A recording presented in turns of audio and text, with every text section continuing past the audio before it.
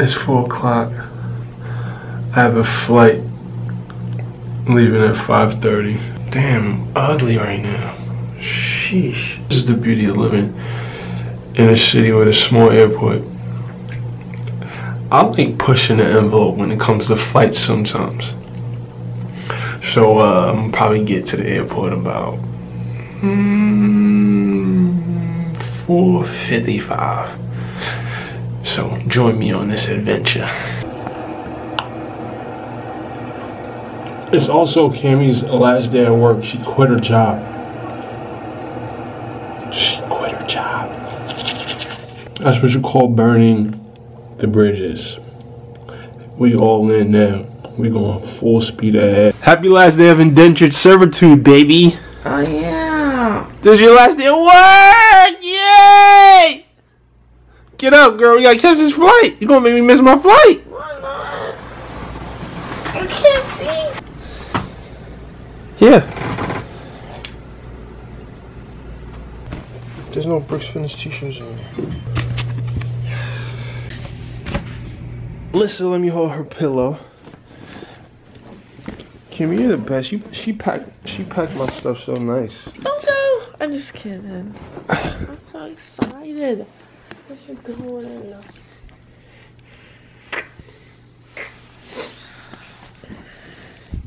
Does it look like it's four in the morning? Um, 424. There we go. It's 426. It takes probably about 15, 20 minutes to get to the to the airport. I'm really pushing it, D. Is he running?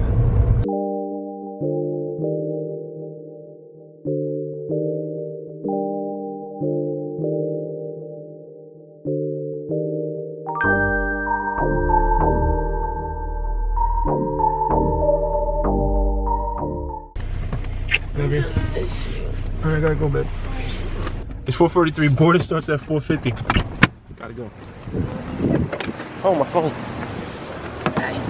Huh? Alright.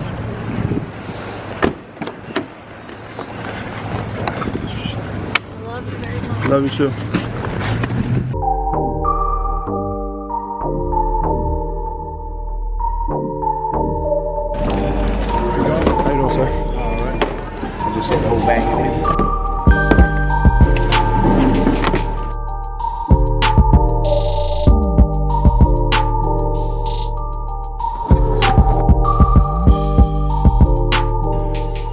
Made it. Look, it's 452.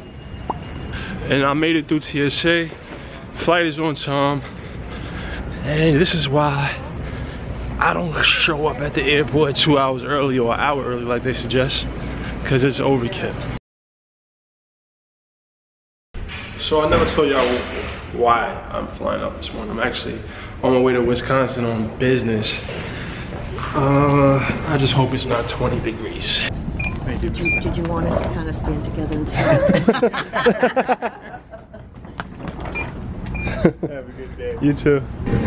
So I made it. I didn't rush to the airport. I'm here.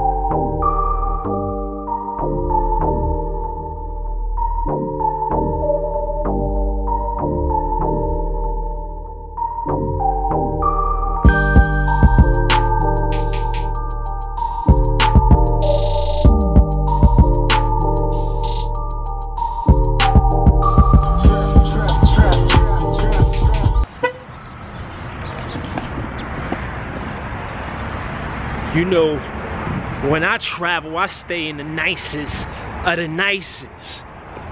Like the two and a half star Radisson Hotel. You figure me? You know I got that cherry red thing. You see that cherry red thing over there in the corner? They ain't ready for that.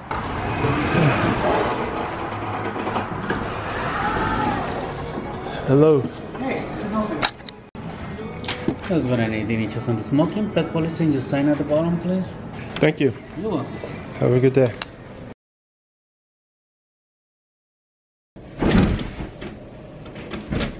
Took a quick nap. Nah, not really. I really just laid here and watched two episodes of House Hunters, but that's equivalent to a nap for me. I just thought I'd take this moment to um, reintroduce myself to the people who are familiar with the channel, but to the tens and thousands of people who have recently subscribed. Um, just wanted to take a second to, first of all, thank you guys for supporting the channel and for watching these videos that I don't know where they come from, but I create. I just want to say thank you for that. A quick introduction to who I am. Um, how do, how do I describe myself? I'm a fitness professional, best friend to my best friend, Candace. I'm a dad. I'm just a man with a passion for helping people and I have a certain, a very unique lust for life. I used to be morbidly obese. I was 360 pounds at my heaviest. Borderline diabetic. I had high blood pressure, the works. And I found my, my passion and my purpose and a lot of other things through my journey to uh, fitness. And I like to say that my transformation that happened on the inside, in my head and in my heart, um, is far more extreme than the than the transformation that happened on the outside of my body. And I just want to share the wellness with, with everyone. I learned a lot along the way. And I just want to share, because I, and I'm still learning. I'm still getting jewels every single day.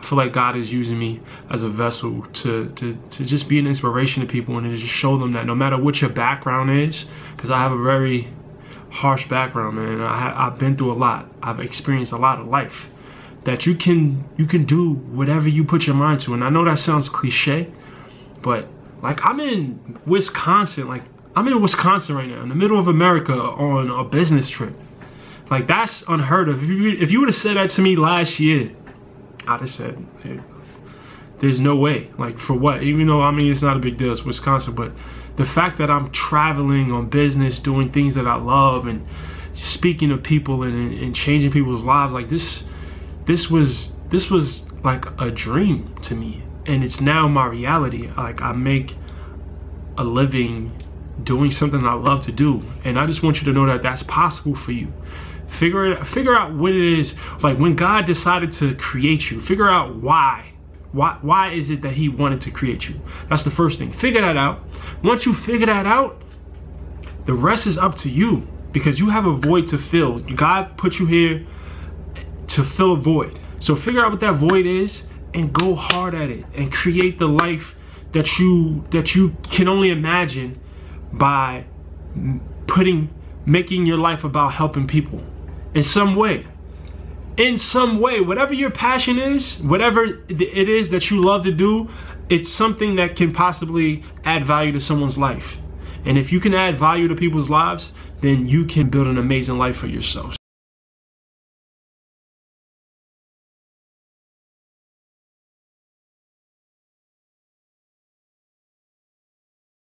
live with Brix Rough over here. Riders. Madison, Wis- Madison, Wisconsin, boy. Dude, I hear it humming, boy. I hear it humming.